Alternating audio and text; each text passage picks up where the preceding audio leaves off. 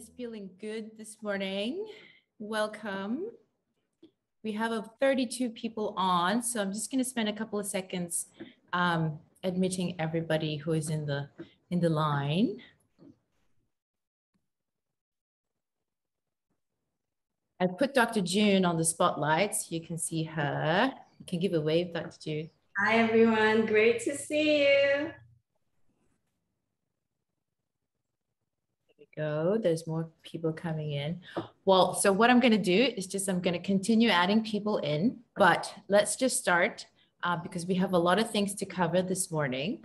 So welcome, Dr. June. It's such a pleasure to have you. And thank you so much for spending your Friday morning with us uh, your hour. I know you're very busy and you have patients to see. So for everyone who do not know Dr. June, Dr. June is one of the amazing doctors at Osler Health International, and she's going to share with us and answer all of our questions about menopause and HRT. So Dr. June, let's start the show, shall we?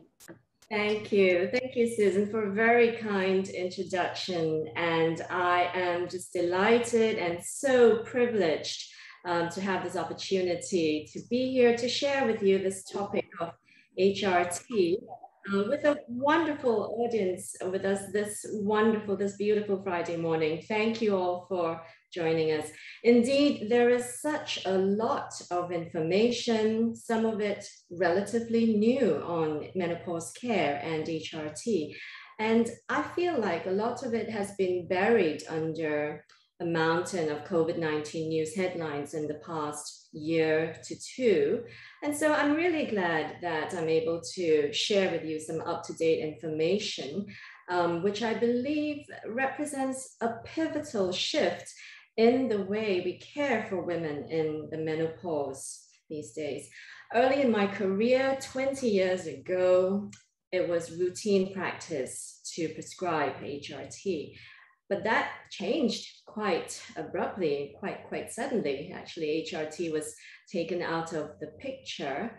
Um, and um, you know, for me as a woman and a physician, the current knowledge that we have now, the recommendations based on evidence that we have now, signal a huge step forward in improving health and well-being in women.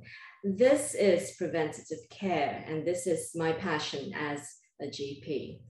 Let me start to share my slides.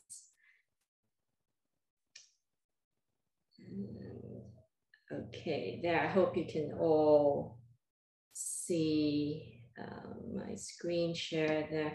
There is uh, a lot of information, I make no apologies um, uh, for, for today's talk, but I will break it all down for you, keep it all bite-sized. And my aims are to um, give you enough information for you to be able to think about the needs, your needs at the stage of your life, um, and also to empower you to ask the right questions when you go in to see your doctor.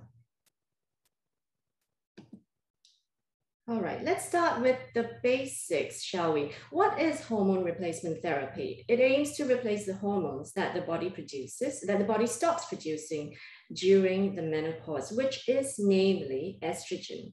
HRT is widely used for the treatment of menopausal symptoms and osteoporosis. Now, let's get some definitions right. Menopause is defined when a woman goes 12 months without a menstrual period. So if your last period was six months ago, seven months ago, then technically you're not in the menopause yet. You may be in the peri-menopause. Peri is Greek for around or near. So perimenopause refers to the stage of of, of life when you're around or near the menopause. And typically this lasts several years and it can start anytime from the age of 45 to 55 years of age. The average age at which a woman attains menopause is 51 years, and menopause is a normal and natural event. In all women, it occurs when the ovaries stop producing follicles, leading to lower levels of estrogen and other hormones.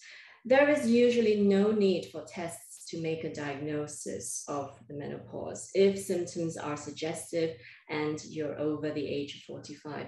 In women who have symptoms of the menopause uh, or who stop having periods before the age of 45 or even 40, that we term premature menopause and usually some evaluative tests would be recommended. Now, here is an interesting fact. I'm not sure I would call it a fun fact, but women on average spend about a third of their lives in postmenopause. Postmenopause meaning after the menopause. That is an interesting, interesting fact. And um, for me, that prompts me um, to ask questions about um, what can we expect? What should we be expecting in the menopause? And is there anything we really should be doing to keep ourselves healthy for such a big chunk of our lives. Now, menopause is a natural and normal event, but it does affect many parts of the body and sometimes quite profoundly as well. In the bone, we get osteoporosis. Osteo is bone, porosis, porous, porous bone, thin bones, weakened bones. Osteoporosis is known to be directly due to estrogen deficiency, lowered levels of estrogen in the menopause, and it is a major cause of death and disability worldwide. Menopause also affects the urogenital system. So it also affects the urinary tract, the bladder, the vulva, the vaginal area, particularly after, after the menopause. Um, and this is termed genital urinary syndrome.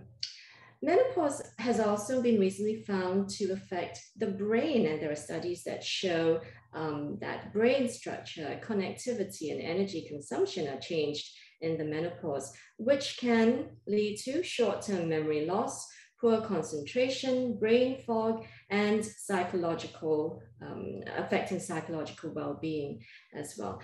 Fortunately, there are studies that have shown that cognitive decline is likely to be only temporary during menopause transition and reverses in the following years.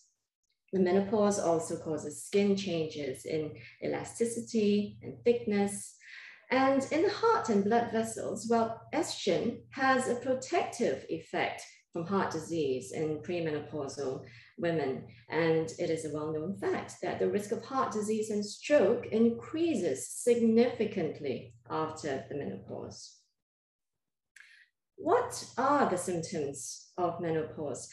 Hot flashes and night sweats. These are vasomotor symptoms, and these are known as the hallmark symptoms. Most women will have some degree of these symptoms. Other symptoms include sleep disturbances, vaginal dryness, urinary bladder symptoms, decreased libido, mood changes, sometimes anxiety and depression, fatigue, poor concentration or memory, amongst others. And symptoms vary widely. They can be very different from woman to woman. Um, in type, they can be very different in type, very different in the severity, and very different in duration of the symptoms as well. Most women, like I said, will have some symptoms and often beginning in the perimenopause and continuing into the menopause and sometimes years after. Hot flushes, would be the most common cause of the menopause, and it can uh, um, symptom of the menopause, affecting up to 80% of women.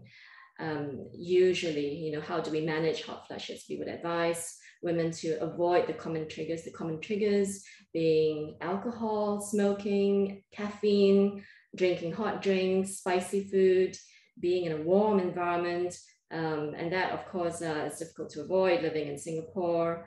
There are, there's also a lot of um, uh, good evidence to show that regular exercise and weight management will help in managing hot flushes. There are some mind-body relaxation techniques such as uh, paced respiration, diaphragmatic respiration, which can be done in conjunction with meditation, with yoga, that have been found to be effective. We know that HRT is the most effective treatment of the menopause, of, I'm sorry, of hot flushes. What else is HRT effective for apart from being effective in relieving the vasomotor symptoms?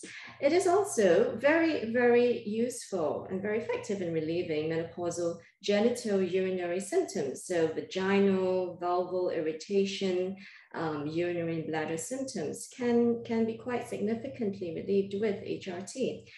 HRT is uh, in the front line um, in preventing and treatment of osteoporosis and, and always has been. HRT is also known to help improve libido.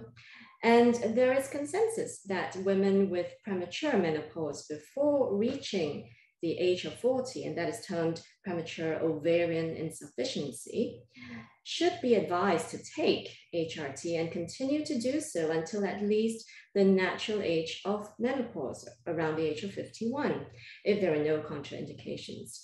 This has been found to have protective effects from cardiovascular disease, osteoporosis, and cognitive impairment in this group of women. And this is also largely true for women experiencing early menopause before the age of 45 years, whether naturally or through surgery, such as when the ovaries are removed. Now, so along the same vein of HRT being useful for cardio protection, does HRT protect you from heart disease? Interestingly, there are recent studies that have found, and a lot of studies that have found beneficial effects on the cardiovascular system through um, estrogen's effects on cholesterol, on glucose metabolism, and on arterial function, potentially lowering cholesterol, lowering the risk of diabetes, and even lowering blood pressure. The window of opportunity appears to be um, within 10 years of the menopause to start taking HRT within 10 years of the menopause and before the age of 60. And the dose and type of hormones at the start of therapy appears to be crucial in obtaining such cardiovascular benefits. These are still being studied, of course, and we're, we're waiting um, for more data on this, but certainly the science looks to be heading in a very positive direction. Now, a good question here. Does HRT improve cognitive function and prevent Alzheimer's dementia? at the time of, of, of writing, right as of now, there are no clear answers and the current data is conflicting. There are some studies that show um, a decreased risk of dementia, and there are also some studies that show an increased risk of dementia. We know that women, a small group of women who carry a genetic risk of late onset Alzheimer's um, certainly will carry a higher risk of, of dementia after the menopause. Um, and so the role of menopause to reduce risk really has not quite been confirmed yet, and we'll, we'll be awaiting larger and longer research and data. Now, let's go into some details now. Types of HRT. Um, there are different approaches to this. And first, let's think about the types of HRT according to um, how they are taken, different routes of administration. Very broadly, if we look at um, HRT taken for general symptoms, for systemic symptoms, which we term systemic HRT, versus local symptoms. And when, when we talk about local HRT, we're talking about vulval vaginal urinary symptoms, genital urinary symptoms, right? If we look at systemic HRT, which we want to take for general symptoms such as hot flushes, night sweats, insomnia, um, and etc., Systemic HRT can be taken orally in tablets and capsules, or it can be applied on the skin transdermally. So trans means through, dermal, skin. Transdermal HRT can be used as gels and patches applied to the skin, and the HRT is then taken into the body systemically. All right just for your info, patches um, are not easily available. And I actually want to say that they're not available in Singapore, but gels uh, certainly are. When we come to local HRT, remember this is local specific to genital urinary symptoms. Local HRT can be taken through vaginal pessaries and creams. So big picture, HRT according to their routes of administration, um, two arms the systemic route, the local route. Under the systemic route, you can take it orally or you can use it transdermally through the skin. The local route um, is given through vaginal pessaries or creams. And note that both systemic and local can be used together. Now, if we look at the types of HRT according to their constituents, all right, again, broad picture, two big groups. There's estrogen alone, and there is estrogen or estrogen plus progesterone. So E alone and E plus P, all right? These are the two main groups.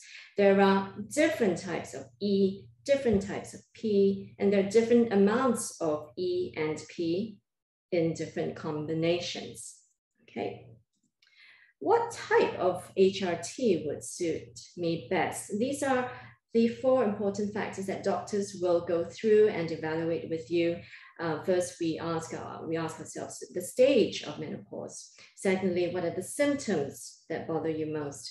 Thirdly, your medical history, your past history, your current medical issues, as well as your family history. And finally, if you have had a hysterectomy.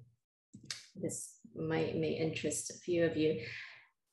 Estrogen alone, HRT, is taken and is given to women who have had a total hysterectomy. So for women who do not have a uterus, they should be taking estrogen alone. Estrogen alone can also be given as a local estrogen therapy for genital urinary symptoms. And this alone can be given to women with an intact uterus safely, meaning women who have not have, have had a hysterectomy. Now, E and P combination, this is combined HRT, E and P, and this is given to women with an intact uterus, meaning women who have not had an, a hysterectomy, women who have a uterus. Now, why is that? It is because P plays a very important role in protecting the lining of the uterus, which is known as the endometrium, from overstimulation by estrogen, which can lead to excessive growth of the lining and possibly cancer.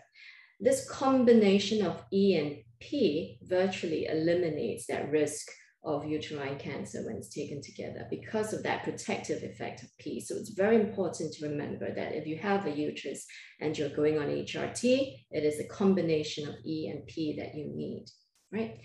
Combined HRT can be cyclical or it can be continuous. Again, if we zoom out and look at the big picture, HRT in terms of its constituents, right? You have the group E plus P, you have the group E alone. And under E plus P, you've got the cyclical combined HRT, and you've also got the continuous combined HRT. Cyclical combined HRT is a formulation where the P is added for 10 to 14 days of each month, usually in the second half of the month. And a bleed is allowed to occur in the days after finishing that phase of taking the P. So this gives you a natural cycle with monthly bleeds, quite like taking a combined oral contraceptive pill. This, um, the cyclical combined HRT is suitable in perimenopausal women and also in, in women during the first one to two years after menopause. Continuous combined HRT um, is what uh, it is. It is continuous P with E, the same dose of P and E taken every single day without a break. And this allows you to avoid bleeding altogether. And so this is very useful. Well, this, this is suitable for postmenopausal women, at least a year, um, having gone without periods for at least a year. Going into a little bit more detail now uh, regarding the types of progestogens, and this is something I, would like to highlight. So there are different types of progestogens in different combinations of HRT, and they can be taken uh, progestogens by themselves in the form of oral tablets or capsules. Now, new research shows that different progestogens differ slightly in their risks and side effects. There, there are slightly different, there, there are some differences between different progestogens micronized progesterone is a it's, it is in fact a bioidentical or body identical progesterone since synthesized from yams And this, this type of progesterone is, is actually identical to the progesterone that your body produces, and therefore it is called a bioidentical or body identical um, progesterone. Um, Dydrogesterone is a synthesized progestogen, but it is known to act very similarly to micronized progesterone, very acts similarly to a bioidentical progesterone. And both of these progestogens are known to have less side effects and are better tolerated um, in terms of uh, less fluid retention, less weight gain, less acne, um, less of the low mood and anxiety side effects that may come with progestogens. They have also been found to be associated with a lower risk of breast cancer and blood clots than other progestogens in combined HRT. Um, it's also worth mentioning here that the Mirena intrauterine device, uh, which is commonly used as a contraceptive device and a very popular, very popular one too, is effective on its own as the progestogen component of combined HRT. It protects the uterine lining very well and is licensed for this use as part of combined HRT. A word about estrogen. Um, estrogen can be taken orally, vaginally, or, or transdermally, as we've talked about. And in most preparations of HRT now that contain estrogen, it is the body identical estradiol that is available. So that is, that is very, very good to know. Transdermal estrogen that is applied to the skin is preferred for women with certain issues, such as women with gut absorption problems, women suffering from inflammatory bowel disease, for example, who cannot absorb um, medications or active ingredients effectively women with high triglycerides, um, an increased risk of blood clots, for example, uh, overweight or smokers, women with migraine, hypertension, or liver disease, generally do better and run lower risk of problems when they use transdermal estrogen as opposed to oral estrogen. So a diagram again here to let you know the different combinations of E and P or E alone. If we start at the very top of the circle, we have E alone therapy, which can be taken orally or transdermally. We have oral E plus P, combined HRT taken orally. We can take oral E plus the Mirena intrauterine device, which um, uh, provides the progestogenic component of the combination. We can also use vaginal E alone. And then we can also use transdermal E, estrogen, uh, uh, estrogen gels, plus Mirena, which provides, again, the P component.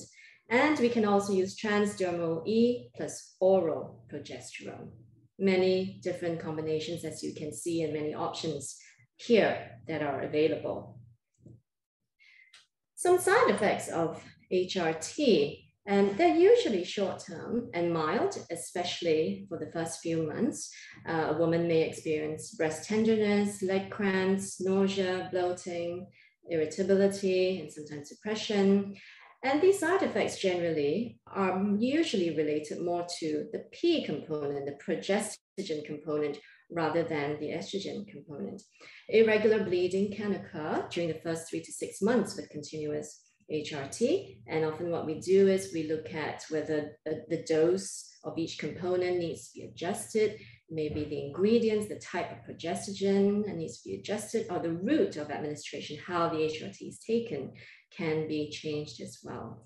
If bleeding is heavy or continues beyond six months or starts suddenly or end unexpectedly, you should see your doctor. Now, the safety of HRT is something that needs addressing to a wider audience. And this was called into question about 20 years ago when a study known as the Women's Health Initiative reported increased breast cancer risk and heart disease from HRT. This had a major impact on menopause treatment practices, which persists till this day. I clearly remember when I was in the final year of my residency in family medicine, uh, when I was asked to present the key findings of the study to a group of family physicians, GPs, and, and fellow residents. Um, and it was all done on transparency on an OHP overhead projector, by the way, which was the norm back then. And I remember the stunned silence at the end of the presentation. You know, everybody had read about this, study a little earlier, but here we have it. Um, and it was clear in everyone's minds that guidelines were to change massively and that really there were no good alternatives um, at that time. There was a lot of media hype all over the world, which caused panic among women and doctors and the number of women taking HRT fell by a staggering 66%, and this figure has not changed. It's taken years before researchers realized that some of the data from that study were not, um, in fact, properly analyzed. Some of the study methods were flawed, and some conclusions drawn that were not all accurate. Fortunately, since then, there's been much higher quality research and past findings have been reanalyzed, meta-analyses carried out, and there's actually also been major changes in the types of hormones used in HRT preparations nowadays. So from the recent um, studies and recent um, position statements, this is the main conclusion that in women with a low underlying risk of breast cancer, that is most of the population, HRT is safe to use if started in their 50s or within 10 years of menopause. We'll go into a bit more detail now looking at the risk of breast cancer in HRT users. Firstly, most women will not be diagnosed with breast cancer as a result of their exposure to HRT. Secondly, E alone therapy, estrogen alone, poses little or no increased risk. Thirdly, vaginal estrogen causes no increased risk of breast cancer. Combined ENP does cause a small increased risk that is related to the duration of use and really, this translates to an additional four cases of breast cancer in 1,000 women over a period of five years within the age group of 50 to 59. So that is in fact less than one additional case of breast cancer in a year per year per 1,000 women. The um, progestogens, micronized progesterone and dydrogesterone that I've spoken about have also been found to be likely to be associated with an even lower risk of breast cancer compared to, to that seen with the other progestogens. And overall, the risk is less than that associated with being overweight or drinking two or more units of alcohol per day. Let's look at risks of blood clots, stroke, and heart disease associated with the use of HRT. Now, oral HRT is associated with a small increased risk of blood clots and stroke, but overall, the risk in women under 60 is small. The risk is similar to that for other risk factors, such as being overweight. Transdermal HRT, which is HRT taken through the skin shows no increased risk of blood clots and stroke. There is also no increased risk of cardiovascular disease when HRT is started within 10 years of menopause or under 60 years of age. And again, the use of micronized progesterone and dydrogesterone has been found to be associated with an even lower risk.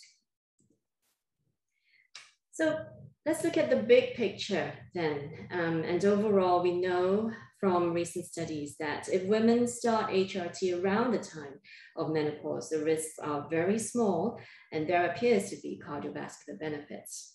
HRT should be taken for the correct reasons, that is, treat the symptoms of menopause or prevent and treat osteoporosis. The dose and duration should be individualized and users should be assessed by their GP at least once a year. The balance of risk to benefit is definitely shifting favorably to the use of HRT. This is a symptom score sheet uh, that I've taken off the Australasian Menopause Society website. That's very useful in allowing users to score their symptoms on a scale of zero to three, zero for no symptoms, one for mild, two for moderate, three for severe. Uh, this is very useful for you to track your own symptoms. Very useful, especially to track your symptoms after starting the menopause. And you will see in the second column, three months after starting MH, menopausal hormone therapy. Um, and then in the last column, six months after starting MHT, a useful one for you to track for your own awareness and also to show your doctor and to help the doctor adjust um, treatment as needed. This is based on the modified Greene scale, and this can be found in various um, menopause apps as well, such as the Balance app. There are cautions to be taken if a woman presents with a background of certain medical histories, such as a history of breast or uterine cancer. And generally speaking, women with such a history should not be taking HRT. Um, if there is undiagnosed abnormal vaginal bleeding, and that means if you present with, if, if you're experiencing unusual or an irregular pattern of bleeding that, that you've not seen a doctor about and that, that has not uh, been evaluated, then we need to take caution before starting HRT. If you have established cardiovascular disease, if you have active liver disease, then it is also important to let your doctor know because HRT may not then be suitable. Going back to undiagnosed vaginal bleeding. Now, periods during the perimenopause can become quite irregular and the pattern is, is very variable. And it can be quite difficult to tell between um, bleeding, uh, irregular bleeding that is normal due to hormonal, hormonal changes, or that may be due to something else that we will term abnormal. Abnormal vaginal bleeding in this age group can be due to many reasons, such as fibroids, um, thickening of the uterine lining, endometrial thickening, polyps, or even cancers. There are other also systemic reasons, such as some thyroid disorders that are quite common and should be excluded, should be tested for in any woman presenting with, say, um, very, very heavy um, bleeding um, that has changed in recent times. And so an irregular menstrual pattern should not be, be assumed just to be due to hormonal changes or to the perimenopause. I will ask many questions of my patients when they come in presenting with changed menstrual pattern um, because it's important to get down to um, a, a, a, diagnosis, a reason for this. Before starting any treatment for, for the menopause, I'll ask about the changes. Um, I want the details. We try to look for any red flags and I'll do a gynecological examination if needed. It's a good idea to keep a menstrual diary to chart your menstrual pattern so that it'd be easier for, for you to keep track and for your doctor to review as well. Let me talk about other types of HRT that are available, and there are a few more. Tibolone became popular in the years after the first WHI study, and it has been perceived as a gentler HRT. It's a synthetic hormone with the combined effects of estrogen, progesterone, uh, progesterone and testosterone. And it is usually started at least 12 months after the last menstrual period, so in the postmenopause. It is quite established in preventing osteoporosis, but it has not been researched as extensively as other types of HRT. And more recently, it has been found to be associated with an increased risk of stroke if used in women over the age of 60. So a lot of caution here to be used in women who are taking it for osteoporosis prevention because it's likely that they will need it long term and beyond their 60s. Testosterone now, in September 2019, just before COVID, a global position, a global position statement on the use of testosterone was endorsed by about 20 of the world's leading medical and menopause societies. And transdermal testosterone is recommended for the treatment of postmenopausal women with hypoactive sexual desire dysfunction, HSDD, or women with low sexual desire associated with personal distress. Australia is the only country in the world with a licensed testosterone formulation for women known as AndroFeme cream. But elsewhere, there is a male testosterone gel that is available, also available in Singapore, and can be used off license in much smaller doses, much smaller amounts for women. Safety data shows no adverse, no serious adverse effects if we are treating to um, physiologic levels, meaning normal levels of testosterone in a premenopausal women, although long-term safety data is lacking. Women with decreased libido actually usually do respond very well to combined E and P therapy. The estrogen component alone usually does help, but testosterone certainly is an option to add on for women who don't respond to just E alone. Um, one other um, type of um, HRT that uh, became available in recent years uh, something called Duavee in the US and Duavive in uh, Australia and in Europe, a combination of um, two components here, Bax, bazedoxifene and conjugated estrogen. Um, this was FDA approved in 2013, quite a number of years back. Um, it, it is known to prevent osteoporosis and treats menopausal symptoms without the progestogen component, for example, in women who cannot tolerate progestogen. Um, it is used in postmenopausal women. Um, Duavee was recalled in the US, though, a year ago due to faulty packaging. And as far as I know, it remains um, unavailable. In more recent years, with increased uh, knowledge about um, conventional ENP treatment, um, has been found in trials to be less effective than conventional HRT. And I think it is likely to drop in the pecking order with the newer and safer types of HRT that we now have. Next, I'm going to talk a bit about bioidentical hormones, which many people talk about. Um, many people are also taking bioidentical hormones. Now, what are they? Bioidentical or body identical HRT are hormone preparations which are identical molecules to those produced by the body. So I mentioned earlier that there are several examples of bioidentical hormones that are available in conventional HRT preparations, such as micronized progesterone and estradiol that are easily available. Now, very often when people talk about bioidentical HRT, they're often referring, in fact, to compounded bioidentical HRT that for many years has been marketed as more natural and thus safer. So what are compounded bioidentical HRT. These are preparations that are made by a compounding pharmacist from a doctor's prescription. And unlike drugs that are approved by health authorities to be manufactured and sold in standardized dosages, compounded preparations often are custom made for a patient according to a doctor's specifications on the prescription. Now, this practice of compounding bioidentical hormones usually involves blending commercially available drug products in proportions that are tailored to the individual. So one potential advantage of this is greater dosing flexibility. Now, the problem is most compounded preparations have not undergone any rigorous clinical testing for either safety or efficacy. And the purity, the potency, and quality of the products are a concern. They are not subject to regulations controlling the approval of standard drugs.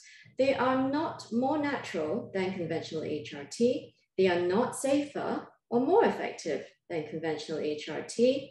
There are, in fact, a lot of unknowns underdosage and overdosing being possible. For example, certain progestogen preparations may not actually provide sufficient protection of the uterine lining Uh, and if there's underdosing of estrogen, then a woman may not be sufficiently protected from osteoporosis.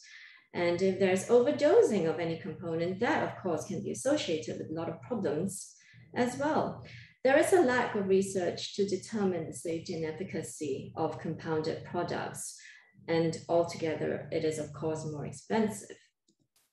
Now, I'd like to highlight this uh, statement from the British Menopause Society, which is consistent with what every leading menopause society says that any product which is a bioidentical hormone will carry the same benefits and risks as the HRT products used by, produced by pharmaceutical companies and properly licensed for use and there is absolutely no evidence that the compounded bioidentical hormones are any safer than those used in traditional HRT. Indeed, they may be less safe. Their production is not monitored by government drug regulatory authorities, and thus their dosage may be inaccurate or inconsistent. Their purity is certainly not guaranteed, and their safety is not tested as it is with approved HRT formulations.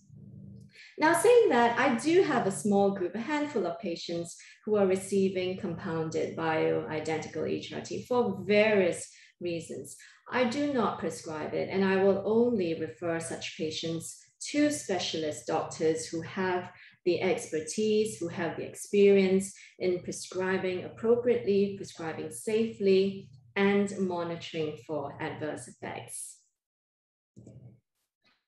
Now, if we're thinking about truly natural HRT, then we're talking about this group of complementary herbal HRT products that are promoted as natural or herbal remedies, such as soy, black cohosh, um, isoflavones, which is a type of phytoestrogen, plant estrogen found in soy foods, tofu, tempeh, soy milk, edamame, uh, red clover, flaxseed. Now, many studies, most studies are in fact inconsistent and inconclusive. There is some evidence for soy and black cohosh. Some, such as St. John's wort, are associated with multiple drug interactions. So it's important that if you're thinking of starting something, that you talk to your doctor about this. Again, not all is known about dosages and potential risks. Um, not all is known about the quality, the purity, and the ingredients in the products. Um, and it is very, very important that the estrogen-like effects of some of the herbal remedies may not always be suitable, especially in women, for example, who have a history of breast cancer or uterine cancer. There are some options, some in fact very, very good non-hormonal options for the treatment of menopause, in fact, for women who cannot be taking hormonal therapy altogether. The SSRI, selective serotonin receptor inhibitors, and the SNRI, serotonin receptor inhibitors, commonly used as antidepressants, are also very effective. In fact, up to 70% of women with severe hot flushes and night sweats will respond well to SSRIs and SNRIs, such as escitalopram, paroxetine, and venlafaxine. Gabapentin is a neuroleptic drug. At higher doses, it is used as an anti-epileptic drug, but at lower doses, it's been found to be also very effective for hot flushes and night sweats. Clonidine is a fairly old-fashioned antihypertensive medication. We don't use a lot of it nowadays. But if a woman cannot take hormonal therapy and has mild high blood pressure and is suffering from a lot of symptoms, then clonidine is an option. We come to not other non-hormonal um, therapies, including complementary mind-body therapies. And some of these have actually shown good evidence associated, such as cognitive behavioral therapy, CBT, which shows good evidence and it works for stress, anxiety, low mood, hot flushes, and night sweats. Basically, it focuses on the links between physical symptoms, your thoughts and feelings and behavior. The way that we think about our symptoms in certain situations can affect how we feel and how we react And what we do can increase the intensity of bodily reactions. And so CBT has been found to be very helpful in this respect. Mindfulness-based stress reduction, such as, like I mentioned, paced respiration, diaphragmatic breathing, um, with or without meditation, yoga, come with good evidence as well. Acupuncture has also been found to be quite useful come to almost the end of my presentation, almost the last slide here, but um, uh, about uh, managing menopause altogether. I cannot emphasize enough how important lifestyle measures are, regardless of the severity of the symptoms and whether or not you are taking HRT lifestyle measures are the recommended first line treatment of menopause symptoms and the prevention of osteoporosis. And this includes having a healthy and nutritious diet, enough calcium, iron, and B12, frequent exercise, weight bearing, cardio activity, flexibility, and strength training. Quitting smoking, cutting back on alcohol, ensure, ensuring that you're sleeping well, not just in terms of duration, but good quality, and managing your mental well-being, managing your stress, assessing your psychological health, identifying signs of anxiety and or depression, and doing something about it. My three take-home messages today, treatment must be individualized the HRT that your friend is taking may not be suitable for you. No two women are the same. Each woman experiences different symptoms of the menopause to different extents, have different medical and family histories. They lead different lifestyles have different perspectives, different preferences, different priorities. There is no one size fits all approach. And it is important that you find a GP who is willing to listen, and help you address your needs. For the majority of women who use HRT for the short-term treatment of symptoms of menopause, the benefits outweigh the risks, and this is quite well established from all the recent data that we have. Women on HRT should see their GPs at least annually for follow-up. And I would say that all women should see their GPs regularly for conversations on their health, on menopausal health, on bone health, and also to ensure that you're up to date with routine screening like cervical cancer, your pap smears, your breast screening, um, colorectal cancer screening for women above the age of 50, cardiovascular screening, make sure that you get your blood pressure checked, cholesterol levels assessed, diabetes screening done. This is all essential health screening and preventive care that every woman is entitled to. I believe we have time to take some questions and I'll be very happy to answer as many um, as I can.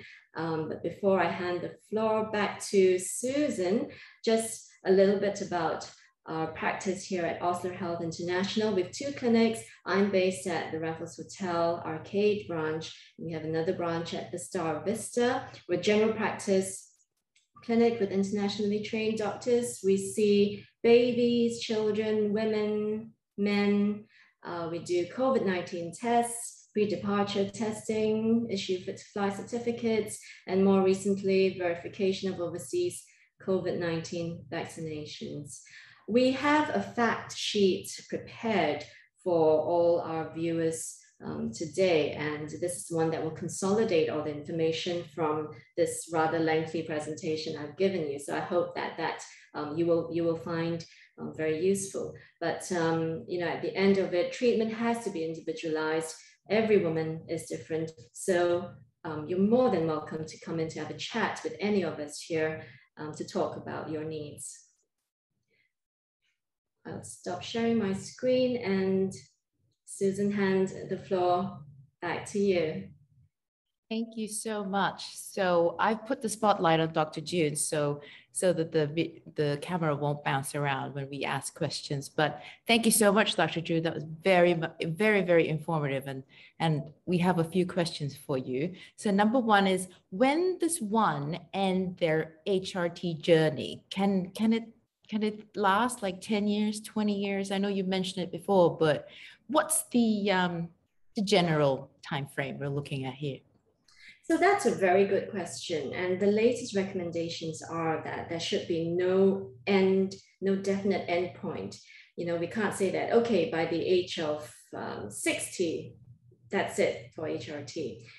It is all going to be very individualized. A lot depends on the reasons for which you're taking HRT. If you're taking HRT purely for the relief of symptoms, then we do expect that symptoms often resolve within two years or so after the menopause. And if there's no need to be taking HRT for those symptoms anymore, then there's no need to continue. Um, I've, I mentioned a few times that the current guidelines say that generally it is safe to be taking HRT within 10 years of starting the menopause or below the age of 60. So those are guidelines in terms of managing risks and benefits. So for every individual patient, we'll have to look at their risks as well. If they are, if, if, if a woman happens to be at a higher risk of adverse problems of complications, for example, then I would probably say, okay, look, perhaps by the age of 60, we need to look at whether we need to assess the necessity of continuing on HRT versus your needs and versus your risks. Um, for osteoporosis prevention, I think I mentioned somewhere as well, because very often long-term treatment is needed. Beyond the age of 60, it is very likely that the doctor will advise switching to a different anti-osteoporosis drug, just because along the way, this balance of benefits and risks um, has to be done. I hope that um, mm. to the question. Yeah, it did. Thank you very much. And I just want to say thank you very much for everybody who has come this morning to kind of share and and you know ask questions about menopause and HRT because I know for a fact not a lot of people are talking about it. Um, so thank you very much for for putting all these questions here. Uh, we have another one. Um, starting HRT does having a history of breast cancer include my mother having had breast cancer, or is it just my history of having breast cancer? Does it, you need to have the whole family's background? No, we're talking about a personal history of breast cancer. So for an individual who has had breast cancer before or who may still be undergoing treatment, then generally HRT is not advisable in such an individual. Now, in an individual who does not have breast cancer, but has a family history, then again, we'll be looking at the details. Is there a family history that involves the presence of a genetic mutation, the BRCA gene, the BRCA gene mutation, which is in the minority of breast cancer patients, really. But if I'm speaking to an individual who is known to have tested positive for the BRCA gene, then a lot of caution here to be taken um, because there is high risk. We're talking about an individual with a very high risk of developing breast cancer. And of course, there will be other things that um, I'll be advising in terms of monitoring and screening. Um, in an individual, however, with a, with a family history, but who has not um, tested positive for the, the, the, the, gene involved, or who has, yes, um, maybe just one member of the family who has had breast cancer and appears to be at lower risk of breast cancer, then this conversation about starting HRT is appropriate. Um, it is, it is really the personal history of breast cancer that is a contraindication to the use of HRT. Okay. But what if it's the person who had breast cancer in an early age and gotten the all clear now that they are a little bit older? Mm. Are hmm. they okay to take HRT or is that something that should be thought of quite, you know? Yeah, yeah. So this is this is a, thought.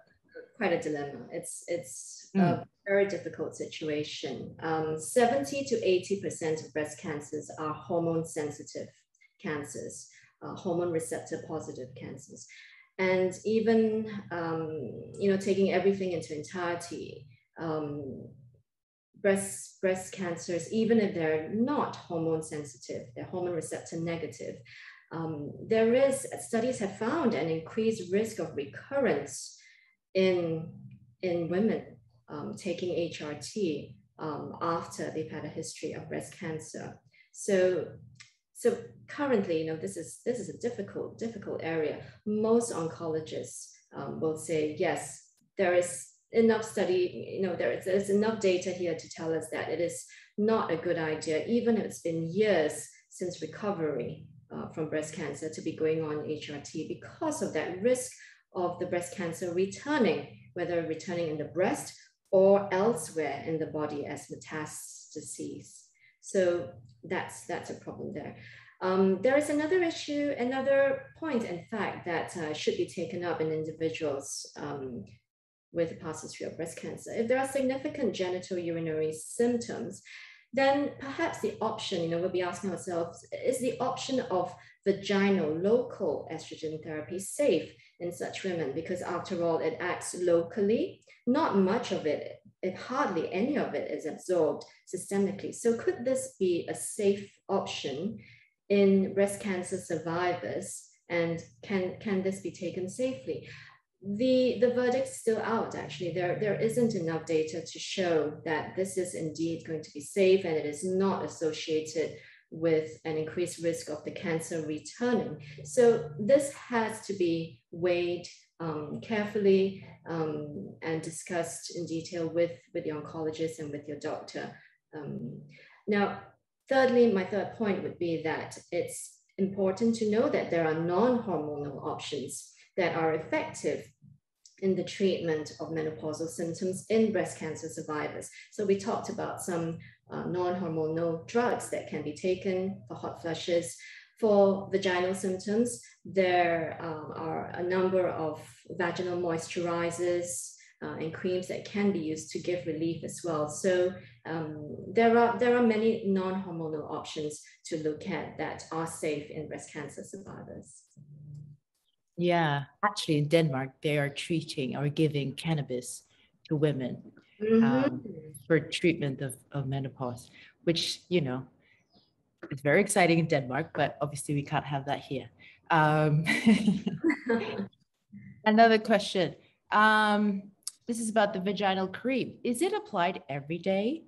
Mm, okay, so vaginal therapies come as creams or pessaries. Yeah, uh, I would say pessaries are easier to use. For starters, we do a priming period of usage, of dosing, of applying every day for two weeks. This helps to prime, to re-moisturize, to recondition, to reintroduce estrogen to the vaginal tissue. Yeah, and it requires daily application for just the first two weeks. After that, we move into a maintenance phase where we only need an application twice a week. So you choose two separate days in a week, like Sunday and Wednesday, um, bedtime use just twice a week for the maintenance uh, therapy part of it. Great. Oh, I, I thought it was applied every day for like 10 years or something. That's why I asked. Um, another question Does testosterone help with low aches and pains, energy level, and brain fog? Is the testosterone gel available in Sing- Singapore? Bioidentical. Good question. So the male formulation of testosterone gel is available in Singapore. The male formulation um, can be used off license. We can prescribe it and uh, advise on the amount that you should be using, which will be a very small amount compared to what is given to men. Okay, so that's testosterone gel, which is available. Now, is it effective um, in relieving brain fog, aches and pains, increasing energy? Um, I think anecdote, anecdotally, anecdotally, many, many people will say that it does help. Although the studies have been inconclusive and inconsistent with that respect, the studies um, found um, for testosterone have been very consistent with improving the libido. Yeah, with all the other symptoms, a little less convincing. Right. Okay. That sounds good. Um, another question. I am 53 and have the Mirena and is taking a capsule. Let me see if I uh, pronounce this right. Progesterone and estradiol. Should mm. I hmm. change to to only an oral E due to the Mirena? This is, you probably want to take this offline because it's quite specific, but. Mm. Um, if you have the Mirena on board, it serves as a, it's, it's, it's great for um, uterine lining protection. You know, so that is your P component, which you should keep for uterine protection, and then just take an E on top of that, whether you want to use an oral estrogen or an estrogen gel. And you don't have to take an additional oral progesterone because the Mirena is there as the progesterone. Hope that okay. answers your question. I think so. Um, does HRT normally covered by insurance? I think one must ask their insurance for this, this yeah. question, right? Yes. Okay. Another question. If you carry the BRCA1 gene, which predisposes you to a higher risk of breast cancer, should you continue with HRT? I am on Femoston. Oh, okay. Um, this has to be a conversation with mm. your doctor. Um, if you're seeing a specialist uh, who's monitoring you closely for breast changes, then this is a, a serious conversation to to to have with uh, him or her as well, because clearly you are at an increased risk of developing breast cancer, and so um, is is, is HRT suitable? Is it safe to use? Um, if you're being carefully monitored, um, sure, certainly that, that would be definitely advisable. Um, duration of use as well. I think that that is a good question too. If, if you um, if your doctor agrees with you that you're okay going on HRT, then um, how long would you be aiming for? What, what are the aims with taking HRT? I think has to be addressed as well. Mm, yeah, definitely. Uh, another question um, Is it safe to use HRT if I have, if you have fibroids? Mm, good question. So, fibroids are stimulated by estrogen. Yeah. Um, if they are small, not causing a lot of problems at all, not causing too much complications at all, then just monitoring the size of the fibroids while on HRT will be fine. It, fibroids is not a contraindication to the use of HRT or even a past history of fibroids. Let's say you're in the postmenopause and you had fibroids before, which are expected to not cause problems or to shrink, uh, in fact, even uh, in the menopause, um, then it's, it's, it's not a contraindication. You can use HRT safely provided they are monitored. Right. Okay. Um, is it hard to get the balance right under or overdose of estrogen? What happens if you get overdosed of estrogen? overdosing of estrogen doesn't usually cause sudden severe side effects, not, not usually. Um, we're thinking more in terms of long-term risks. If an individual overdoses on estrogen, there could be an increased risk of the stimulation effects of estrogen on the breast, on various tissues in the body. Therefore, it could, it could lead to increased risk in the breast. It could lead to increased risks um, in the cardiovascular system. Um, but overall, it doesn't it doesn't present as, a side effects per se. If right, okay. I thought you'd be more like emotional, depressed, and things like that. So right, if extra. There's, there's an, an imbalance. Usually, um, side effects from HRT come from the progesterone component. And so that you know can be adjusted. There are various ways of adjusting dosing and components. Right. Another question. I am taking Vagifem, the local estrogen. How long can I take this for? So Vagifem is an estrogen pessary that is used for the treatment of vulval vaginal symptoms. And Vagifem is known, Vagifem at its lowest dose, 10 micrograms, is known to be safe long term. It can be taken in women with a uterus. It does not need a progestogen component for protection. It is very safe to use for the long term. Right. Okay. And the non-hormonal treatments that you mentioned before, are they taken orally? Are they in like a capsule or hmm. they uh, are? Yeah, Right, the non-hormonal treatments, the SSRIs, um, uh, the antidepressants, they're taken orally, yes, uh, as well as gabapentin, it's also taken orally. None of them are given in other routes. In fact, they're all oral. Okay. This is my favorite question. How do you delay menopause? my friend says 46 is too early to start pre-menopause and advised me to delay it. I already exercise 9 to 13 hours a week, so exercise shouldn't be an issue. That's a lot of exercising. Um, yes, but that's a great question. And I'd like to know, how do you delay it? Can you? I'm afraid we can't delay menopause, but we can delay the effects um, the not so desirable effects of menopause through everything that you're doing the exercise looking, looking after yourself well um, keeping mental well-being. These are all very important aspects of life not to delay menopause but to keep yourself well and healthy altogether.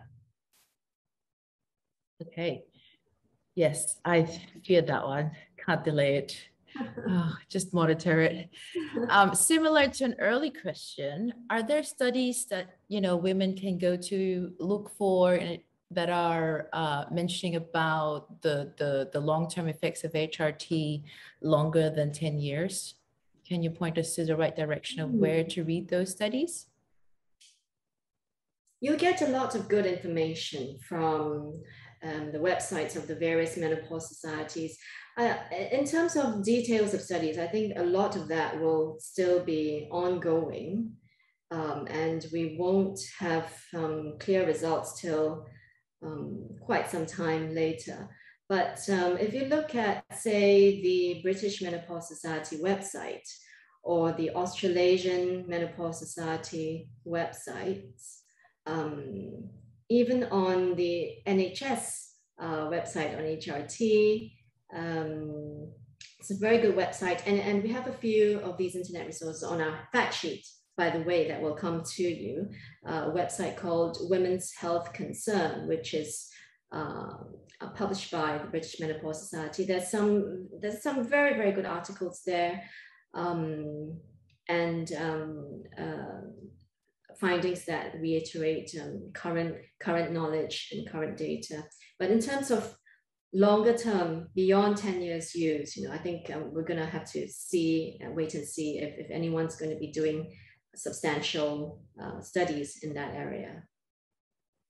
Okay, yeah, that's maybe perhaps when we send all the um, the informations to everyone, maybe we can ask you for a link. Um, but definitely a lot of information out there for sure.